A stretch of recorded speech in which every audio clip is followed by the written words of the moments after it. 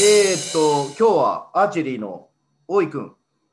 D スポのメンバーではまだオリンピックも目指してるし、現役のアスリートの一人ですし、えー、年齢的にも全体の中では若い方の、現役で若い方の、えー、アスリートでも、この D スポの、えー、心を大事にするとか、ご機嫌とかいうのに、まあ、この考え方、理念に賛同してくれて、えー、参加してくれていて、嬉しいんですけど、今日は大井君を、えー、いろいろインタビューして、いろんな話聞いてみたいと思います。まず1個目、まあ、メントレの時もよく聞くんだけど、えーと、アーチェリーの魅力ね。まあ、こんだけいろんなアスリートいて、いろんな競技もあるんで、まあ、僕はそれぞれのアスリートに、まあ、なんでそんなことに人生費やし、なぜそういうスポーツやってて、どこが面白いの？みたいなことをもうみんなに聞いて、そのアスリート、まあ、そのスポーツを追求してきた人しか感じられない、わからない何か魅力があればなと思ってますが、アーチェリーの魅力は、大井君的にはどうですか？正解のない問いなんですが。そうですね。とまず選手側としては、まあえーと、もちろんスポーツなので他人と競うんですけれども、まあ、自分をひたすら追求するスポーツです。で、えっと、満点が10点っていうふうにも決まっていて、えー、それ以上のパフォーマンスは存在しないので、ああ、そうか。はい、だから、他の競技に比べて連続で勝ち続けることが非常に難しい競技だと思ってます。ああ。で、そこの奥深さに魅力を感じてるわけ？そうですね。で、特にその、まあ、さっきも言いましたけど、自分との、えー、会話をひたすらし続けないといけない競技で、ね、だから他人は本当に関係ないんですよね。スポーツの中でも数少ない部類だとは思うんですけど。そうだね。うん、だこう自分を磨くというところにフォーカスできるので、まあ、それがまあ自分のこう人生の目的とも一致する部分があるので、あそうだな。者としてはそこに魅力を感じてます。それは、例えば、射撃とかやってみたらどうなるんだろうね。でもすごくそこは似たようなものがあるなって思ってて、まあ、これは本当に僕にとっては運とタイミングの問題で、あそれがね、あっていうふうに僕は捉えてるんですけど、まあ競技者としての魅力はそこだなと思ってて、まあ、逆にその見てもらう側の人として魅力としては、まあ、やっぱり点数競技なので、えっと、まあ、ルールがそんなに分からなくても、勝ち負けは誰でも分かる。そうだね。はい、真ん中に当たれば勝ちだからな。はい、っていうのはあると思います。まあ、あとは、ただその、まあ、ちょっと魅力と離れちゃうんですけど、うん、スーパープレーがないのは残念だなっていうふうに思ってます。そうだね。はい、10点以上がないからね。そうなんですよね。あの真ん中の真ん中に当たれば10点になんかおまけがあったらいいのにね。そういうのもないので、で、その選手自身も妨害されることはないんですね。まあ、基本的に、ま、外でやるので、風とか雨とかだったらありますけども、そのすごく動きの激しいアクションがあるわけではないので、やっぱりそのスーパープレーと呼べるものが存在しないんですよね。なんか、例えば、10点に当たるとか、まあ、それは君らのレベルだと、まあ、しばしばあることなんだろうけど、1クールが6本セットだったっけ？えっ、と、予選はそうですね。6本か3本です。6本全部10点当たって、6本目の矢が10に当たったときに、やったーとか言ってガッツポーズしたりするの？しちゃいけないの？いえ、全然しちゃいけないっていうルールはなくて、ただやっぱりその6本だと、えっと、全部で72本打つので、うん、その、そこに一区切り打たない人が多いですね。やっぱりガッツポーズとかをして。ああ。やっぱりそのガッツポーズすることで、こう次の、また6本、次の6本打つんですけど、その6本に、さっきはこんなに当たったから、次どうしようみたいな、まあ、ね、余計な考えも生まれてくるので、しない選手の方が多いですね。そうだよね。もう淡々とやるって感じだね。はい、イメージ的にはそうなります。基本的にはね。はい。淡々とやる。まあ、その自分との内観の、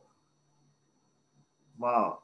悪い言葉で言うと葛藤とか、まあ、そういうこと自体もスポーツの中にあってそれを楽しんでるってことはねそうですね。あと射撃だとさ、はい。外的要因っていうか、その風とか、さっきも雨とか言ったけど、外でやるじゃん。はい。その内観するスポーツの癖して、射撃みたいにそれで全てが決まるわけではなくて、なんか風とか、その自然のその日の湿度とか、そういうものの影響、午前中と午後のコンディションの違いみたいな、例えば、まあ、この D スポにも自然と対峙してる連中もいて、その不条理をどう許容していくかっていうことがまあ面白かったりも悔しかったりもするみたいな話が結構出てたりするんだけどはい。などうなの？その自然の影響性っていうのはなんか競競技に入ってんの？えっ、と、結構強いと思いますね。一番がやっぱ風ですね。だよね。えっ、と、まあ、もう当然、その打った矢が風に流されて飛んでいくっていうのもありますし、打ち手自身も風に振られる。ああ、そうだ。はい。だから唯一、まあ、唯一というか、まあ、その天気、まあ、風も含めて、それが唯一体に、なんだろうな、悪影響を及ぼす外的要因なので、そうだよね。こういうのはどうなの、風が強く自分を内観していつも通り打つんだけど、でも、射撃だったらもう自分以外の要素はゼロなんだよね。でも、なんかああいう矢だから、シューッとこうやって風に乗って、こうやって飛んでいくわけだから、はい自分がどんなに完璧に打っても、風の影響で3点になることあるんだろもちろんありますね。打った瞬間に、例えば風が逆になったら、う。あでものすごいところに飛んでいくので、自分がどんなに綺麗に打っていても。あ、そうだよな。でその天候がまあ良くないときに関しては、自分のパフォーマンスイコール点数とはならないですね。そうだね。はい。なんかその自分のパフォーマンス以外にその風風とか自然のコンディションに苦しんだ大会とかいうのはあるの？自分はなんかすげえ思ったところに話す話す安定性がここにはあるのに風の影響を読み切れずとか読んでもそれをさらに覆すような風の影響を受けて負けちゃったみたいなことってあるの？もうしょっちゅうですね。しょっちゅうか。はい。で、まず一番最初に許容しないといけないのが、自分が天候によって左右されるので、自分のパフォーマンスも出せる上限が下がるんですよね。だからまずそこについて許容しないと、例えばその無風の時と同じように打とうとか、まあ、それがもちろんベストパフォーマンスなので、ああ。すると逆にそれにどんどんとらわれていくっていうこともありますし、逆にそれを許容したとしても、その日、例えば自分が風が読めなかったりうん。したら、それも全く違うところに矢が飛んでいくので、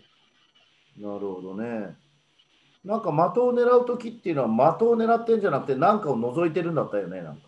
そうですね、えっと、道具に照準器がついているので、その照準器を、えー的の、まあ、狙う場所、まあ、普段だったら真ん中ですね、10点に合わせて打つようにしてます。風があればその標準器のいるところのそこがを変えていくわけ。はい、その狙う場所を風上狙う場所をね。はい風も会場によって当然違うので、例えー。ば、通常、例えば、はい標準器で狙うところは向こうとの距離何メートルだったっけ？70メートルです。70メートルの中のどの辺に矢を通すっていうイメージなの？そういう感じじゃないの？いえ、もう、えっと、まあ、無風の時はそういうイメージあるんですけど、やっぱり風が吹くと、えっと、自分が予期せぬ方向に飛ばして、風に乗って的につくというようなイメージなので、あんまりそういったイメージじゃなくて、もうて風が強い時は、もう的のどこを狙うかのみですね。あんまり通すってイメージじゃないです。ああ。こうなって10点当たるとかもあるんだろでも。あります、あります。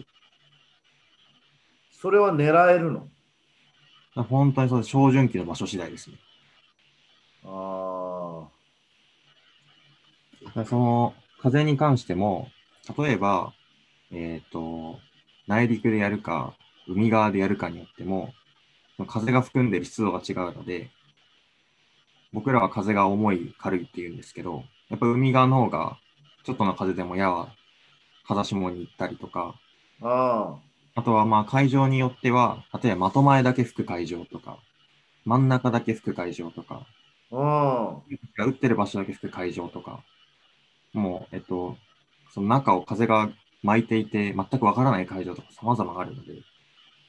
なるほど。それも全部経験ですね。嫌なスポーツだね。はい、本当に嫌ですね。だってバスケなんて自分が放れば3メートル5のリングは動かないから、はい。入るように打てばまあ基本入ってくれるけどさ、まあディフェンスがいてそれを邪魔する人はいるから、自分次第でもないんで、まあ同じと言っちゃ同じなんだろうけどね。まあ、はい、だからこそ、アーチェリーっていう競技が、年齢層が、まあ、選手寿命が長いと思うんですよ。ああ、あくまでも、えっと、その弓の重さって決まってるので、体が必要なエネルギーってもう決まってるんですね。でそこに対して、あと積み重なっていくものって経験でしかないので、経験がね、積み重なっていくからそうだな。うちのプラスの方がやはり大きいので、だからもう40とか50とかうん、までいっても人もいるよね。できるスポーツ。今の世界チャンピオンは何歳なんですか？今の世界チャンピオン、しばらくコロナで空いてしまったからわかんないんですけど、今の人30ぐらいですね。うん。あと40歳ぐらいの人います。日本チャンピオンは？日本チャンピオンは、古川さん？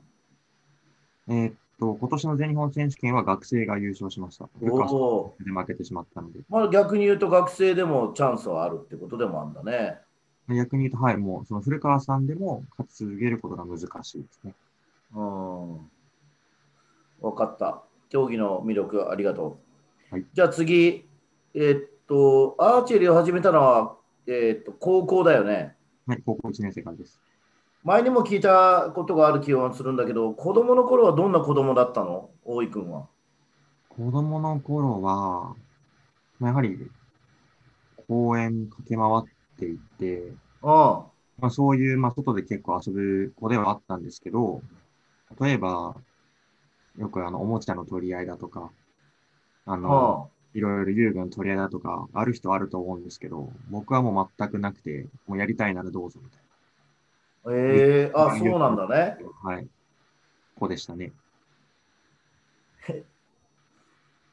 えー、じゃあなんかお父さんやお母さんははそういう大井君になんかどんな感じで接してたの？うーん、やっぱりまずやりたいことをやらせてくれたっていうのと、興うん味がも、興味を持ったものに対しても一緒に向き合ってくれましたね。小学校の時一番興味を持ってたのはものはじゃあ何なの？僕は当時、あの、自然カメラマンあ？あの、しあの、例えば、虫とか、あの、その自然の中で、例えば鳥とかいるじゃないですか。そういうのを撮るカメラマンになりたかったんですよ。っおおていう夢があったので、カメラも買ってもらいましたし、なんかいろんなえー、撮ってたわけ？じゃあその自然の生き物？生き物撮ってたりとか、あとスケッチとか、もう当時はしてた記憶がありますね。あそうなんだ。なんかクワガタとかカブトムシ買ってくれか買って飼いたいとかいうよりはそれ写真撮ったりスケッチしたかったの？そうですね。なんで、結局、クワガタとカブトムシも結局買わずに撮ってきましたね。ああそうかはい。え、なんか、神奈川で育ってるんだよね？神奈川で育ってます。自然はあったの？それともおじいちゃんとかおばあちゃんのとこ行ってたの？いえ、あの、実家の周りが、あの、まあ、生産緑地地区っていう、そういう特別な地区で、あの、緑を多く残そうっていう地区だったんですよ。おうなので、たまたまこう自然に恵まれた場所で、それは恵まれたね。はい。あーえじゃあ、今でも虫とかあんまり苦手じゃないの？苦手ではないですね。あーカエルとかヘビは？もう全然大丈夫です。全然大丈夫？はい。わお。わかりました。なんか自然、自然児だったんだね、そういう意味では。そうですね。まあ、まあ、自然の中で暴れてる野生児ではないですけど、まあ自然児でした。ああ、そうね。野生児ではないけど自然児だね。はい。ああ、わかる。そんな感じだよな。えっと、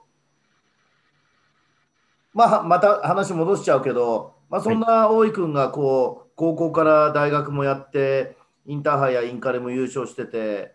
で、夢中になってきたこのアーチェリーの中で、そのまあ我々この D スポの大きなテーマは心とかご機嫌とかなんだけどそのまあもう見るからにアーチェリーはメンタルなスポーツのように思うけどあえてそのどういう点がこうメンタルなのかどういうメンタリティーが大事だというふうに思ってるのかこう大井君の言葉で言語化して語るとどんなふうになるんでしょうか？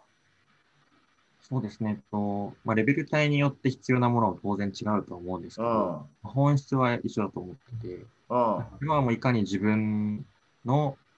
感覚を自分が信じられるかに尽きるスポーツだと思ってます。それはじゃあ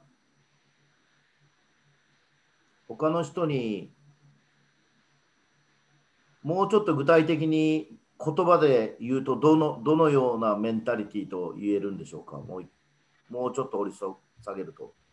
うんまずこう、まあ、どのスポーツもそうだと思うんですけど、すごく認知的になりやすいスポーツだと思うんです。自分と向き合ってるからこそ余計に、えー人の妨害もないので、そうだね。だから全部自分のせいになってしまうので。まあ、っていう中で、もちろんその認知的になれば、例えばフォームをどこ修正していこうとか、うん。どんどんそういう考えに入っていって、まあ、普段自分が今出せるベストパフォーマンスじゃないところを気にし始めて、まあ、どんどん崩れていくスポーツだと思なるほど。って、まあ、そうだからこそ、そういう、えっ、と、まあ、もちろん試合になると出る悪い癖とかあると思うんですけど、まうんあ、そういう含めて、今のこれが自分なんだ、これが100%なんだっていう信じれるメンタリティが僕は必要だと思います。なるほどね。信じれるっていう感じですね。はい。その、まあよく僕と話してる、その、自然体でいるっていうか、それは信じきれてるから自然体になるのかしら、それとも自然体っていう感覚は、アーチェリーにとってどうなんでしょうか？それこそ気合と根性がいくらあったってダメだスポーツのようにも思えますけど、もちろん高いエネルギーはないと継続できないんでしょうけど、気合という根性という言葉があんまりふさわしいようにも思えず、自然体っていう感覚はどうなんでしょそうですね。おっしゃる通りで、もう気合と根性に関しては、気合と根性があって何も解決しなくて。あの、まあ、気合、気合はもしかしたら変わるかもしれないんですけう。ど、あ例えば今ここで全力を出してやろうって言って力をは入れたとしても、それ逆にマイナスですし、何もいいことはない。ね。はい。うん。なので、まあ、必然的に、こう、自分がリラックスした状態、集中した状態が求められる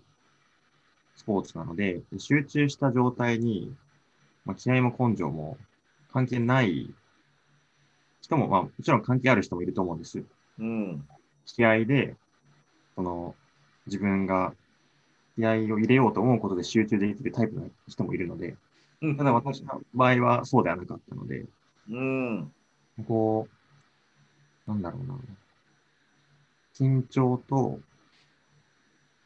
こう、なんだろうな、リラックスしが共存できる空間があって、やうん。っぱその状態がベストだなっていうふうに思う。ああまあ集中とリラックスの共存フローっていう感じは、まあ、まさに、まあ、ハマってますねそういう意味ではねそれはもう本当に一番このスポーツからは感じましたね。そうだねあのそういう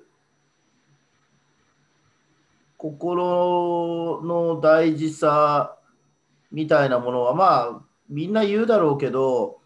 本当に自分の自分事としてそこにちゃんと投資して、まあ人それぞれだと思うけど、大井君としてはそこに投資して、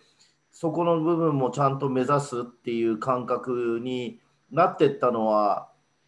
いつ頃なの？それこそ、まあ、インターハイ優勝して、インカレも優勝してるけど、まあ、全日本も優勝してるのか？はい。優勝してるけど、まあ、オリンピック目指そうと思うと、また違うのか、どういうところでその感覚をもっと高いレベルの底を求めるようになったの？いつ頃からどのように？えっ、と、時期としては大学4年生ですね。あえーまあ、理由としては、えーまあ、審議体って言葉があると思うんですけど、うんまあ、こう今までは、まあ、高校、大学って、えーまあ、あくまで部活としてやっていて、まあ、それで、まあ、運よくそこそこうまくいったので、インターハイとかインカレとか優勝できたんですけど、うんえーまあ、やっぱりその時って、まあ、どの指導者もメンタルが大事だって当然言うわけなんですけど、うん、まあ、その時はメンタルが何かっていうのは全く分からなくて。分からなくてね。でもとりあえずみんな当たらなかったら、あメンタルが弱いんだなって口に言ってるんですよ。何か分かってないのに。うん、その程度の認識だったんですね。なるほど。大学4年生の時に今の、えー、韓国人のコーチなんですけど、うん、に出会って、で、細かくその監督、そのコーチの監督をされてた人は韓国人で、韓国にいらっしゃるんですけど、その人のとこに会いに行ったんですね。でその時に、その審議体の言葉の話をしてくれて、お審議体ってあるけれども、順番逆だと。うん、体で義で真だと言われたんですよ。お体力があって、体があって初めて技術ができて、で技術ができて初めて心がわかるっていう話を受けて、まあ、なるほどと思って。で、その、うん、韓国のコーチに変わってから、体もしっかり初めて作ったんですよ。なるほど。増やして、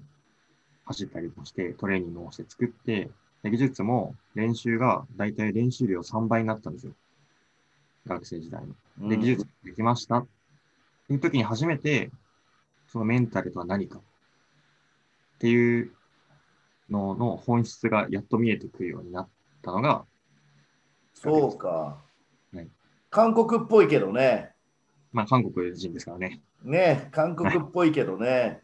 タイがすっげえ大事で、そのすべての基礎、もう当たり前だし、何ら疑問もないんだけどね。義もあって。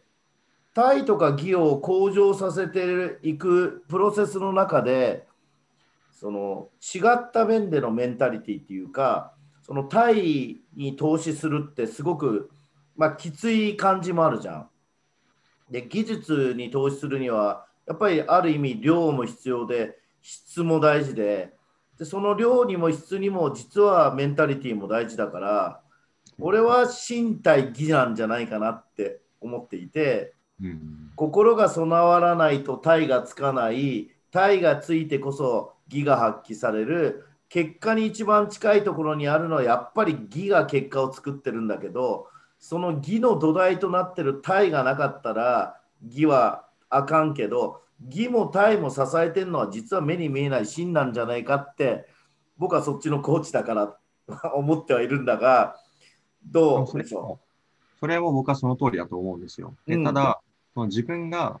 例えば一生懸命になることが楽しいとか、そういうことがもう自然とできてたんですよ。だから、自分の中でタイとか銀のところに関して、その、そのことでノンフローの状態になったことなかったんですよ。ああ、そうか。はい。だから、その、まあ、その話は、改めてその辻先生にお会いして、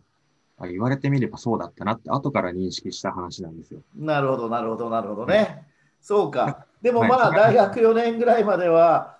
真っていう言葉はなく、まあ、もうほぼ義で行って、そこにタイが入ってきて、で、また僕と会ったりしながら、その3つの相乗効果が、まあど、答えはどうでもいいんで、順番なんかどうでもいいんだけど、どれも大事だっていう結論ではあるから、まあ、そういう感覚になったっていうことでございますね。であと、まあ、特にそのアーチェリー競技の特性もあって、やっぱりその技術で卓越した技術って、やっぱり頭打ちなんですよ。頭打ちなんだ決まってね。るから。はい。結局最後に決まるのが、その芯の部分っなるほどねて。いうのもあったと思います。そうか、わかったうん。いい話ですね。えーっと、じゃあまたちょっと戻りします。D スポは、まあ、主に子どもたちを対象にして、その心の大事さに気づいてもらおうと。で、まあ、その一つの表現形はご機嫌っていう揺らがずとらわれず自然体の入り口みたいな感覚で、まあ、やることやらないでサボってただ昼寝しようじゃなくて、まあ、やることもやるんだけど機嫌が良くないと目標や夢も追いかけられないしっていうようなことを、まあ、子どもたちに伝えていくことに興味を持っているアスリートたちの集まりじゃないですか。でまあ、大井君なんてまだ全然独身だし若いしそのまあその若い年齢の中で教育っていうことに関して何か今その社会を見てとか、まあ、D スポに関わってとか改めてなんかこう教育っていうことに関して大井君なりに何か思ってることとか感じてることとか社会課題のようなものっていうのは何かあるのかしら？えっ、と、身近なところで言うと、その一緒に練習しているのが、今 JOC のエリートアカデミーのああそうだね。高校生の子たちなんですね。そうだったね。で、やっぱその子たちと一緒に生活していて、で、まあ僕も高校の時も大学の時にキャプテンをやったんですね。で、まあ後輩の指導は当然至らぬとこがいっぱいあって、あんまりできなかったなっていうような印象だったんですけど、うん今もその子たちは、まあ監督の、まあ、方針もあって、まあ、チームで動けと、チームを取ってっていう風な、えーまあ、指示を受けてて、すごくやっぱ苦労してるんですね。うんっていうのもあって、まあ、まずこう、その時期にやっぱり苦労して、えっ、と、教えて、まあ、その教えてあげて、本人たちが苦労するっていうことが、まあ、いかに大事かっていうのを、うんまあ、身につけてまず感じてるんですね。うん向き合うことの大事さだよねはい。で、まあ、そこにプラスして、で、特に、まあ、私は、まあ、たまたま、まあ、親の教え方とか、出会った人が本当に良かったので、まあ、こううん。自然とご機嫌のまあ価値であったり、まあ、無意識のうちに気づいてた部分はあるんですけど、うん。まあやっぱり今、私も会社に所属しているので、まあ、そうじゃない、会社見ると。はい、い。っぱいいるのが、なんか、ね。はい。悲しいなって思う部分があって、はい。でもやっぱり大人ってもう自分の芯がある程度通ってるので、うん。やっぱそこを変えていくのは小さい頃しかないだろう。まあ、純粋な頃。っていうのは、まあもちろん当然思いもあります。なでまあ、一番は、その、生きてて楽しいのかと思われるような大人が育たない社会が、はい、僕は来てほしいなっていうふうに思っているので。そうだね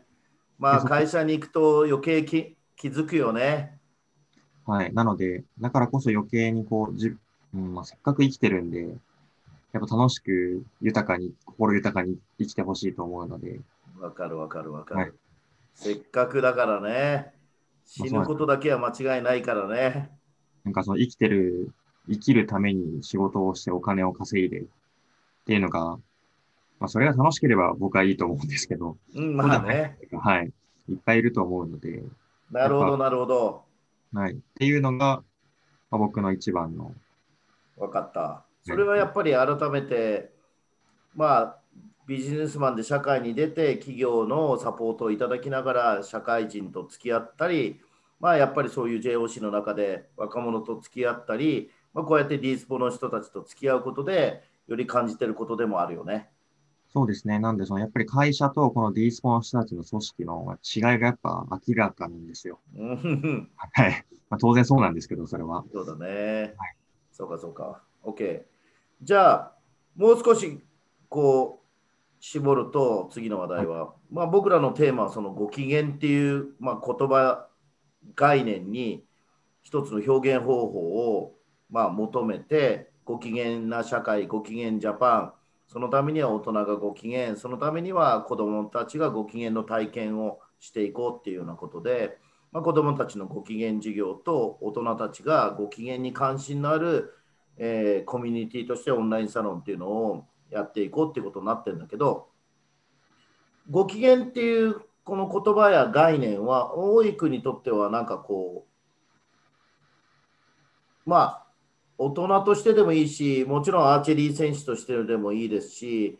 まあ、その、まあ、ビジネスマンの端くれとしても、ご機嫌っていうことに関しては、大井君は、なんか、どのような位置づけにこうあるんですか？えー僕にとってはそうですね、心の豊かさに直結すると思っているので、あ。だから心の豊かさ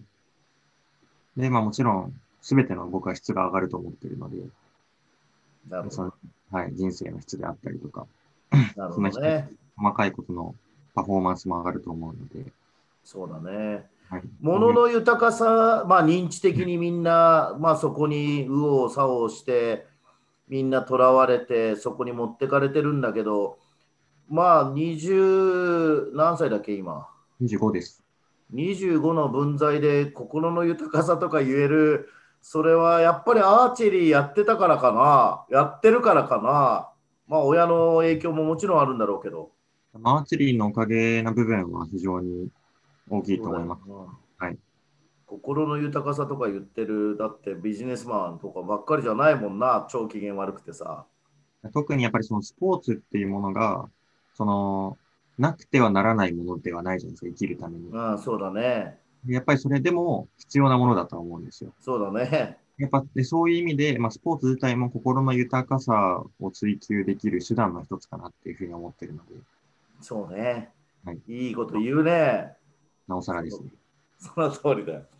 でスポーツはだから文化なんだよね。カルチャー、人間として耕され、心豊かになっていく人間活動、文化の代表がスポー代表の一つがスポーツだし、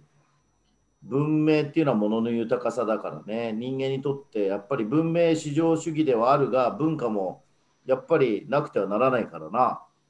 本当にそう思う。そこにスポーツを入れてほしいなっていう切なる願いはある。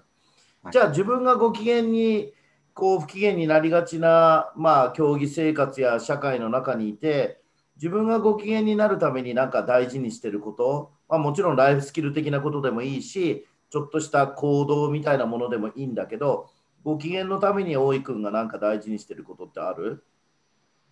えっ、と、やっぱり周りを大切にしたいっていうお思いがあって、自分がこう、ご機嫌で亡くなった時って、誰も得をしないわけで、自分もプラスではないし、周りもプラスではないし、ーだな。っていう思いがあるので、やっぱりこう、普段過ごしているコミュニティが僕家族だと思っているので、うんまあ、そういう人たちとやっぱ楽しくいたいと思う。なるほ。ど。はい。っていう思いは結構強いですね。そうだね。そこを大事にしていれば自然とご機嫌でいる必要があるからね。ご機嫌の不機嫌な人といたい人いないからね。本当に。もちろんそれで、まあ、もう嫌なことがあったらもちろん嫌な気持ちにはなりますけど、そこでなんか無理やり持っていくっていう感じでもない。いああそう、わかる。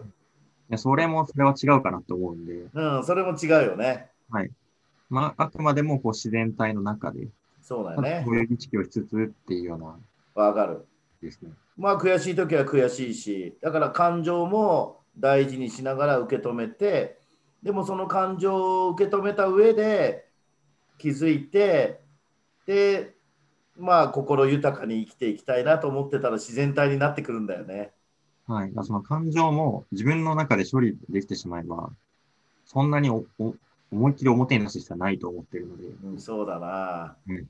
いいこと言ってくれるね。じゃあ、あと2つね、質問。はいえーっと、まあ、ディスポにこう関わってくれて、まあ、僕の仲良くしてる、メントリしてるあのアスリートたちとか、そうじゃないアスリートたちもこうやって今集まってきてくれて、えーっと、ディスポの活動、まあ、オンラインの、まあ、現役だからなかなか難しいんだけど、オンラインの授業は子どもたちにね、やってくれたりとか、で、あの D スポのアスリートたち、決体な連中の集まりの ところにも、あのリアルでもオンラインでもこう、大井君参加してくれて、ま、あスポーツ界の重鎮たちも結構いる中で、あの D スポのこう活動というか、まあ、真の活動とああいうコミュニティでみんなと触れ合ったりするっていうことをまあ、どうどう感じてますか？どんなふうに印象がありますか ?D スポのアスリートや活動に関して。まず活動に関しては、まあ、私もまだ社会人になって3年目で、うんで本当にで、まあ、ほぼ競技に時間使わせてもらっていたのが、ね。まあ、自分にとって初めての、なんだろうな、社会なんですよ。ああ、そうか、そうだね。だから、もうほとんど何もわかんないことも多くて、まあ、そういう意味では本当皆さん頼もしいなと思いますし、うんやっぱでもその中で、その目的意識がやっぱりはっきり、目的がはっきりしてるそうね。っていうのが、まあ、一番僕にとって嬉しいことですね。うその目的ん。がはっきりしてるだけで、もうこんなに動きやすいんだと。うん。普段自分一人でやってることをみんなでやれている組織だと思うので、そうだね。はい、すごく勉強になってます。ああ、会社っていう組織は所属してるけど、目的をみんなで共有して、みんなで動いてないもんね。あもちろん、まあ、部署単位ぐらいだったら目的共有されてるかもしれないですけど、やっうんぱその、まあ、大きくなる、例えば会社の理念とかになるじゃないですか。そうもっとだな。フラットなものになってしまうので、なるほど。はいそうか、そうか、そうか。それは君にとってはすごくいいコミュニティの一つとはですわ。ね。はい。でメンバーについても、まあほとんど先輩方ばっかりだと、やっぱり、それだけ経験してきたものが違うので、こう、やっぱり勉強になることばっかりだなって毎回うん思って、なるほど。はい。一緒にいて楽しいっていうのが一番ありますね。ああ変なことは教わらないようにお願いしますね。えーっと、じゃあ本当の最後の質問ね。はいえーっと、まあ、当然競技者だから、えーっと、としてもう一番なんだけど、今後の大井君のこうビジョン、まあ、もうど真ん中にこう、現役アスリートとしてのビジョンもあるだろうし、まあ、わかんない、もっと大きなビジョンで言えば、セカンドキャリアみたいなものとかのビジョンでもいいし、別に何でもいいんだけど、まあ、今後のビジョンと今、取り組んでることみたいなことをちょっと紹介になるんで、あの述べてもらえると嬉しいんだけど、最後に。今後のビジョン。自分のビジョン。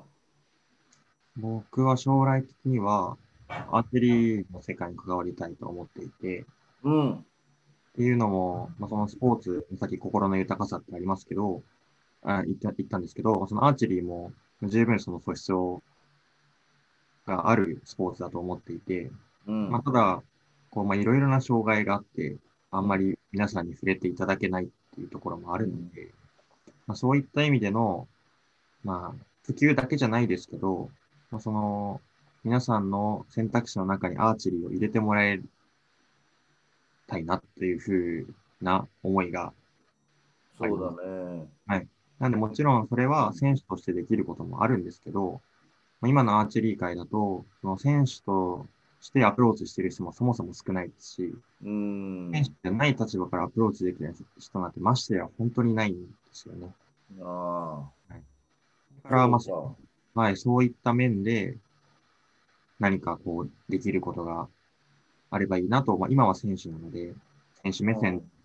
考えますけれども、SNS 動かしたりとかが精一杯なんですけど、そうだね。はい。それは、なんかこう、ラグビー界とかだと、ラグビーがもっとこう、みんなに近づいて、それこそ文化としてっていう思いを、こう、脈々と